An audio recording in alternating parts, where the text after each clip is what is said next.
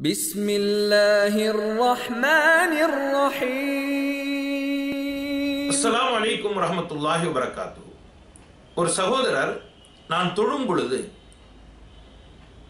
கபிலாவை முன்னோக்குகின்ற திசையில் பதினைந்து டிகிரி சாய்ந்து தொழக்கூடிய வாய்ப்பு ஏற்படுகின்றது இது கூடுமா என்பதாக கேட்கின்றார் அன்பரே ஃபர்து தொழுகையில் இன்று ஏற்பட்டிருக்கின்ற ஒரு அறிவியல் சூழல் விஞ்ஞானத்தினுடைய முன்னேற்றம் இவைகளின் அடிப்படையில் நிச்சயமாக நாம் கிபிலாவினுடைய சரியான திசையில் முன்னோக்கி தொழுவது சாத்தியம்.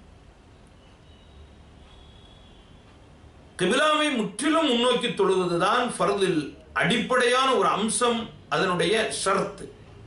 தொழுகையினுடைய நிபந்தனைகளில் ஒன்று. எனவே பதினைந்து டிகிரி சாய்ந்து தொழுவது என்பது மிகவும் மோசமான ஒரு தொழுகையாக மாறிவிடும். கிபிலாவிலிருந்து முற்றிலும் அது வேறுபட்டுவிடும்.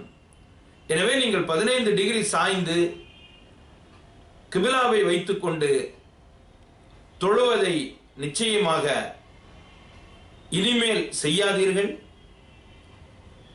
அவ்வாறு செய்வது முற்றிலும் தவறான செயலாகும். அஸ்லாம் அலைக்கும் வரமத்துல்லாஹி வபரகாத்துஹு.